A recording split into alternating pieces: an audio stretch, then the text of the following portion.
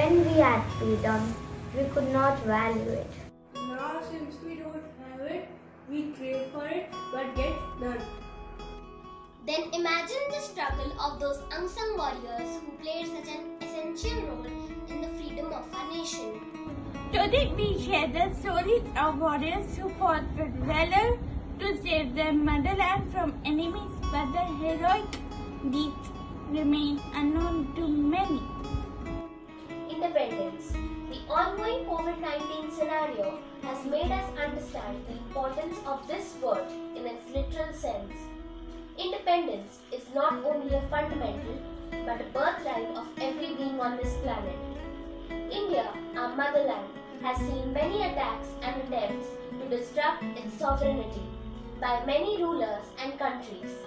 But India, our motherland, has had many brave sons and daughters, rather heroes and warriors who with their bravery and valor have outclassed the enemies many a times.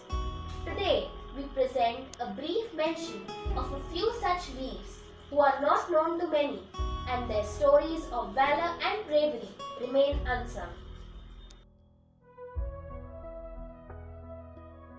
Velu Nachiyar was the queen of Shivaganga. Her husband Thevar was killed in a war with the British. In this war, Shivaganga was in an alliance with the Nawab.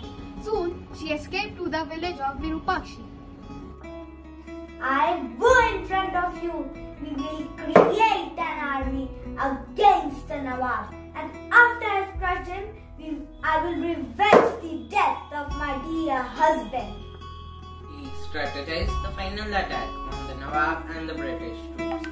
While Nachiyar bravely fought the British army, the chief commander, Kuyili, died in an explosion by bombing the British camps, creating history by becoming the first suicide bomber of the world.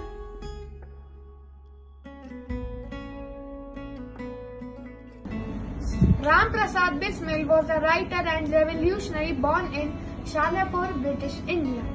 He wrote the famous slogan Sarfaroshi ki tamanna. He started working for the Mainpuri conspiracy in which he had to collect funds for his newly formed party against the British. Bismil absconded when he saw the police.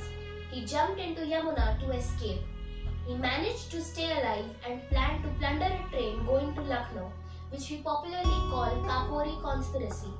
He was caught after this and put into the cellular jail until he was hanged to death. सरफरोशी की तमन्ना अब हमारे दिल में है देखना है जो कितना बाजुए कातिल में है मैं राम प्रसाद बिस्मिल यह प्रण लेता हूँ कि जब तक इस जिस्म में ये लहू है मैं देश की आज़ादी के लिए लड़ता रहूँगा लड़ता रहूँगा was a brave queen who fought against the British to abolish the doctrine of lapse from her kingdom. When the Queen of Kittur lost her son, and she was stepped into sorrow. But when her husband reminded her that even the people of Kittur were her children, then she pulled herself together and devoted her life to their well-being.